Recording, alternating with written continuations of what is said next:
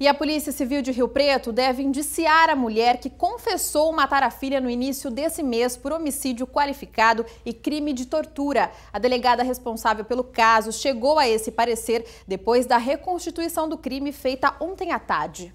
Aline de Souza Santos, de 19 anos, ficou mais de uma hora com a delegada dentro da casa onde morava, com o marido e com a filha, Emanuela Maria de Souza Santos, de um ano e quatro meses, no bairro Vila Toninho, zona sul de São José do Rio Preto.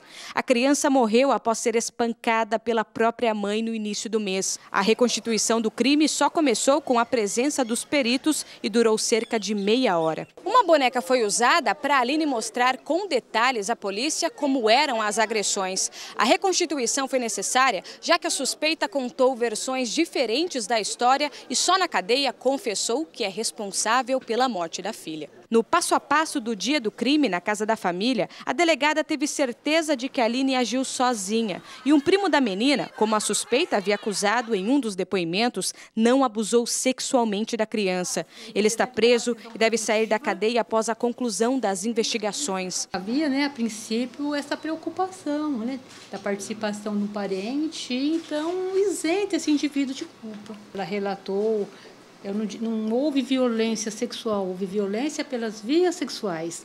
É, houve socos, e no, enfim, ela alega a queda da criança, que a criança relutava, relutava em seus braços e acabou indo ao chão. Durante a reconstituição do crime, vizinhos se revoltaram com a presença da suspeita.